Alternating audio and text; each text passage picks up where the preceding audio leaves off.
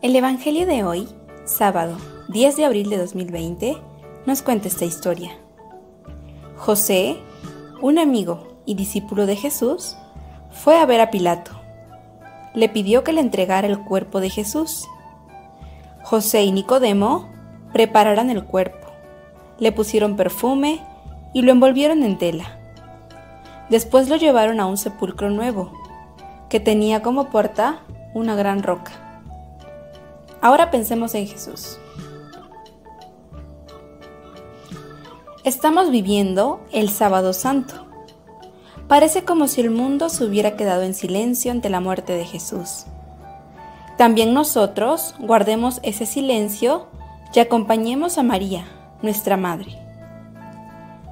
Estar en silencio no quiere decir que debes ponerte triste este día. Más bien, quiere decir que debemos pensar en Jesús y en su amor. Confiar en que resucitará y gracias a Él podremos llegar al cielo a contemplar a Dios. De tarea para hoy, quiero que abraces a tus papás y a las personas con las que convives y quieras mucho. Diles en este abrazo, te mando todo mi amor a Jesús. Yo también voy a abrazar a mis seres queridos y te mandaré a ti y a Jesús muchos abrazos.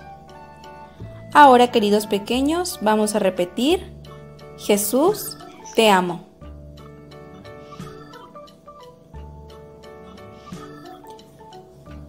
Antes de despedirnos, vamos a orar un Padre nuestro.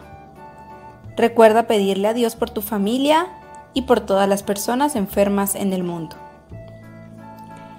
Padre nuestro que estás en el cielo santificado sea tu nombre, venga a nosotros tu reino. Hágase Señor tu voluntad, así en la tierra como en el cielo. Danos hoy nuestro pan de cada día. Perdona nuestras ofensas, como también nosotros perdonamos a los que nos ofenden. Y no nos dejes caer en la tentación, y líbranos de todo mal. Amén. Primeramente Dios, nos encontramos mañana, queridos pequeños. Recuerden abrazar a sus seres queridos. Les mando un gran abrazo. Lourdes del Pilar.